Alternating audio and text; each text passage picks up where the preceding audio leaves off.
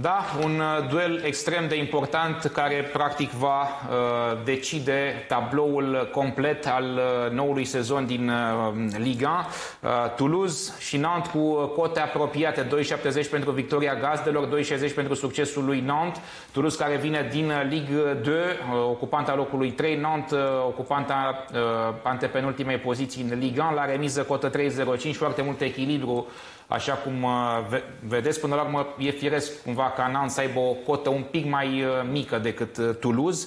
Toulouse neînvinsă în ultimele 5 meciuri, Nantes pe de altă parte 4 succese și un eșec în ultimele 5 partide. O să vedem și um, alte uh, sugestii de pariere, alte cote. Pentru 1x o cotă de 1,45 pentru egala pauză, cotă 1,96 aici aș miza și pe acest X la pauză, fără prea multe probleme sau nu marchează ambele echipe cotă 1.76, nu ar fi exclus nici acest scenariu. Uh, pontul pe care ni l-a dat uh, colegul nostru Lucian Crețu este pauză sau final X, cotă 1.55, eu am mers pe o cotă mai mare, de la pauză cotă 1.96, dar ceva mai sigur este acest uh, pauză sau final X. Altfel, Alex, e Uh, un duel în care statistica spune că de cele mai multe ori echipa care vine din Liga a doua uh, reușește cumva să și facă pasul spre, spre Liga, echipa care, uh, din Liga în care ajunge la baraj de regulă, statistic vorbind, da. urmează să și retroadeze. Rămâne de văzut, pentru că Nantes a avut o răbufnire așa de orgoliu pe finalul sezonului, ajungând practic pe la acest loc de, de baraj, îl are pe Antoine Comboare da. Uh, pe bancă. Un antrenor uh, care a trecut și la Toulouse. A fost la Toulouse, a fost și la Toulouse, da. Asta. Uh, Foarte călit în lupta de la retrogradare Comboare. Acum, Bogdan, noi ani de zile ne-am uitat la Franța, tu mai mult decât, decât oricine din redacția noastră, probabil, și știi foarte bine acest campionat.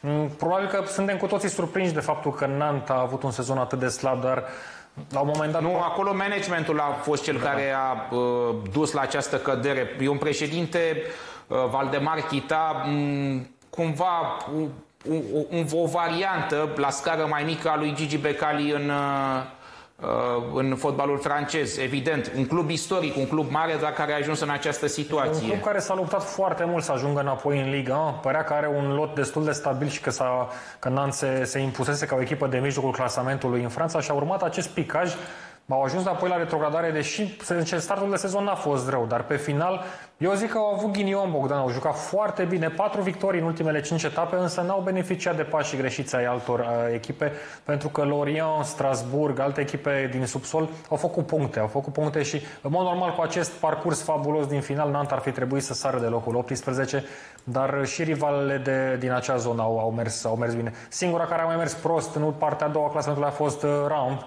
Reims, care mm, totuși era sigură că scapă, era sigură de la, din, da. din toamnă, din, din iarnă și atunci n-a avut pe cine să bage în sub ea. Eu cred că n-a rezistă, cred că va, va rămâne în prima ligă, chiar dacă statistica foarte interesantă, cum ai spus Bogdan, echipa din Ligue 2 uh, de multe ori câștigătoare. Da, uh, Vahid Halil Hodzic, care a fost antrenor și la Lille și la PSG, uh, spunea că în urmă cu câteva sezoane când a fost antrenor la Nantes, a plecat după doar câteva luni pentru că a găsit acolo haosul uh, uh în uh, da.